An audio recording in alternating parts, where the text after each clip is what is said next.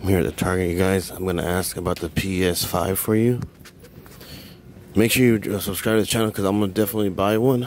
This should come out sometime this year, around like Christmas or November, December. And so I'm gonna get one and see what's and then play a game and live stream it. So guys, he said that it'll come out like the end of this year or like towards the beginning of next year. And he doesn't really know when it's coming out. Of the price just like anyone else doesn't know. Um, but yeah.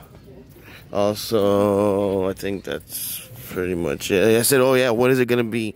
like when, you, when it's released, are you gonna get around the same time as like other places like you know like GameStop or like Pum Walmart or stuff like that? And he doesn't. He said, yeah, usually when they release, I get them all around the same time because I really want to get mine at Target.